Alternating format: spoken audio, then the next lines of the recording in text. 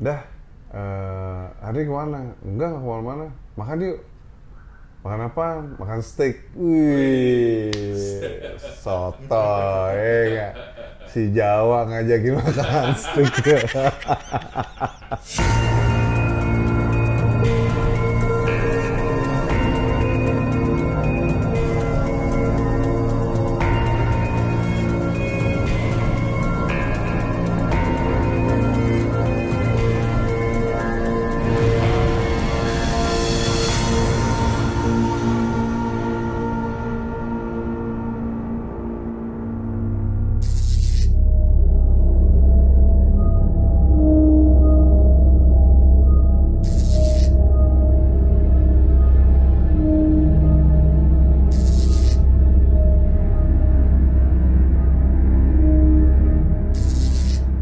cerita misteri pastinya nggak akan bisa diukur oleh nalar kita. Gue Abu, welcome back to my channel. Di luar nurun nggak habis. Woo! Hey, hey. Sorry guys. Ini enggak, ini enggak. Hari ini kita mau sedikit dodol-dodolan ya. Ada narsum kemarin kita coba diskusi. Lumayan dodol sih ini ceritanya ya. ya kan. Nah, lan- langsung nih. Langsung. Gas. Oke, eh, ada salah satu pegawai swasta eh, bekerja di perusahaan alat berat lah, ya kan di bilangan eh, Simatupang. Siang malam tunggu panggilan. Anjay. nah, si laki ini kita sebut aja namanya Mas Agus yoi. Mas Agus. Mas Agus Agus ke mana kamu Agus nah Mas Agus ini suka sama eh, teman kantornya Mbak Indah. Kita sebut aja Mbak Indah ya. Oke. Mbak Indah. Jadi ini nama kita samarin yang punya nama Agus dan Indah jangan berkecil hati. Kalian mantap. Nah eh, si Mbak Indah ini karena dia orang Manado Oh iya. ya kan? Bu kan orang Manado parasnya kulit putih ya kan? Agak-agak tipis-tipis eh, blonde-blonde dikit ya kan? Kuning-kuning. Mantep deh tuh kan? Terus dia gitu dia tinggal di Jakarta tuh ngekos. Dekat sama eh, kuburan yang fenomenal. Oh, kuburan. Iya, kuburan sangat fenomenal. Kita samarkan kuburannya eh, kuburan jeruk Bali. Ada di dekat Cipete jeruk Bali. Kuburan jeruk Bali. Oh gitu. nah, singkat cerita si eh, Mas Agus ngeberanin dia ngajak Mbak Indah eh, pergi makan. Wih. Widih. Iya, iya, iya. Ngomong nih si Agus sama, In- sama Mbak Indah. Dah, eh, hari ke mana? Enggak, nggak ke mana-mana. Makan yuk. Makan apa? Makan steak. Wih, soto, nggak? Si Jawa ngajakin makan steak. Keren, hmm, apa ini Agus. Udah nih si Indah bingung kan. Kirain tuh kalau namanya orang kantoran kan makan soto apa, sate apa, yang gitu gitu nasi goreng apa gitu. Kok makan steak? Ini boleh deh gitu. Makan steak di mana? Di Senopati dong. Wih, ngeri kan? Iya udah, ayo. Ya. Berangkatlah dia dari kantor ke Senopati. Nah, jam pulang kerja kan jam 5 ya. Langsung tuh dicabut, cus gitu. Kalau udah reservasi. Reservasi nih ya kan. Terus eh, si ya makan biasa makan biasa cerita cerita cerita cerita si Agus mulai nakal nih sebenarnya. Mulai nakal. Nanya lah di tempatmu cowok boleh datang nggak malam? Boleh. Tiba-tiba ngomong boleh nginep nggak? Ih apaan sih? Gitu enggak caranya aja ya. ada di akhir dari makan ada percekcokan sedikit ya kan? Ada percekcokan sedikit si Agus ngajakin lanjut. Mican, Mimi Mimi cantik, iya, Mimi cantik nih si Agus ngehe ini ya gue mabokin nih, laki ya laki, ini laki, gue mabokin nih, si Indah bilang, enggak, mau pulang aja langsung pulang, capek, wah dengan bekelit segala macam, akhirnya Indah mengiyakan tapi di hari Sabtu. Oh. Agus mulai murung dong ya kan? Ya elah. Ya kan udah keluar modal banyak kan makan dulu ya kan? Makan dulu mican. Malam eksekusi mungkin ya. Nah mulailah eh, jam sekitar jam 8 setengah 9 lah itu eh, jalan nih pulang Pak.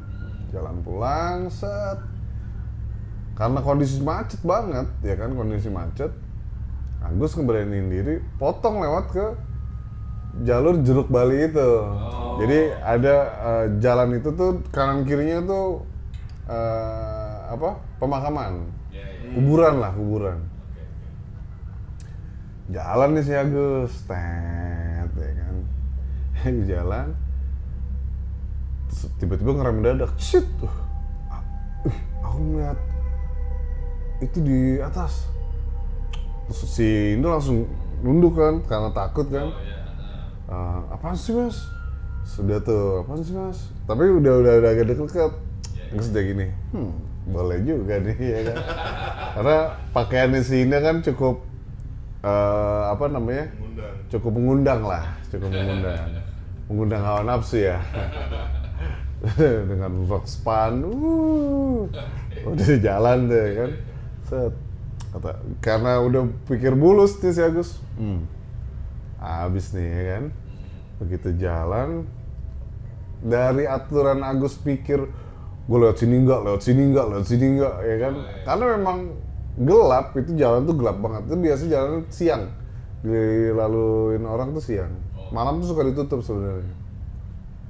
Terus eh, nekat lah dia naik set, uh ternyata belum ditutup kan. Tes, ngetes set. Udah namanya pikiran bulus, jalan lagi set. Itu mobil dipelanin sama dia. Dipelanin set bercandain nih lagi enak-enak jalan tiba-tiba lampu mobil dimatiin sama Agus Blok! si Indo langsung takut kan. Ah gitu kan cewek kan. Ah pedes ah gitu.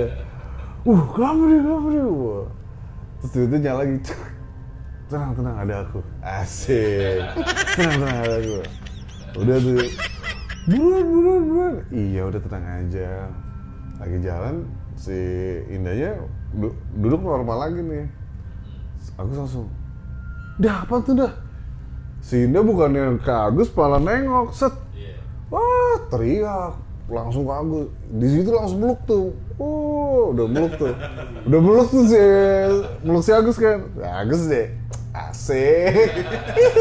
Iya. uh hmm.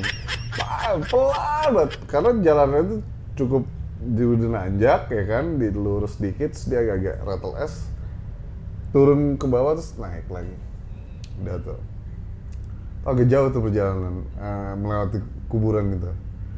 Terus pas begitu rattle es si Agus dia mulai mulai makin membara kan. dah mana dah? Udah begini sih nengok sedikit. Teriak lagi wah! Udah kan. Terus ngelewatin lah nih si jalanan itu. Agus udah feeling nih oh, nggak enak nih si Agus selalu kan namanya ekor mata nih kan suka ngejail kan. Uh ini ada apa nih kan di ekor mata nih biasanya. Nah di dia ngeliat spion. Kok kayak ada orang di belakang? Pas Agus ngeliat nggak ada. Jalan lah nih set. Nyampe di kosannya si Indah. Nyampe di kosannya Indah. Dia bilang mas kamu temenin aku temenin aku temenin aku. Temenin aku wah Gus deh. Hmm, mantep nih. Mantep nih. Oke ya, udah oke ya ya bujang ya. Oke siap. Wah. Turun eh, apa? Tiba-tiba si teman kosannya si Indah tuh apa datang naik ojek set. Iya. ah ada kamu. Yaudah mas eh, apa namanya? Kamu hati-hati ya kamu hati-hati. Ah hati-hati kenapa aku nggak jadi masuk nih nggak usah nggak usah. Aku minta, minta ke kamarnya si teman kosannya aja. Iya. Anyep dong ya anyep dong. Udah kesel kan. Lah gua udah. Aku temenin gini, gini. pokoknya kamu hati-hati aja mas. Aku nah Indah ceritain. Aku ngeliat eh, Mbak Kunti sama eh, Genderuwo dia bilang gitu. Di tempat tadi. di tempat tadi ya kan? Tempat tadi. Terus si kan namanya Agus udah bete kan Agus cuma iya. Ya lah begituan doang takut. Sesumbar di mulut nih mulut udah mulai sesumbar. Nggak ada aku nggak apa dibilang eh, aku nggak takut sama yang gitu-gituan. Asik asik ya nggak? Asik. Udah nih udah kesel dia. Udah aku pulang dulu. Ya udah pulang dulu. Dia pulang udah bete lah pokoknya. Kamu jangan apa jangan marah ya? Enggak nggak marah pulang nih set. si Agus tuh rumahnya tuh di di apa tempat tinggalnya deket eh, Antasari. Oke. dekat Antasari situ lah. Jadi dia mau jalan mau muter atau mau lewat jalur yang tadi. Udah karena masih emosi kan masih emosi kesel gitu. Terus tiba- si Agus bilang eh mikir dalam hati nih ah udah gue sini aja lah biar cepet. Ya yeah. cepet set jalan dia lewat situ. Set lagi enak-enaknya. Tiba mobilnya mati.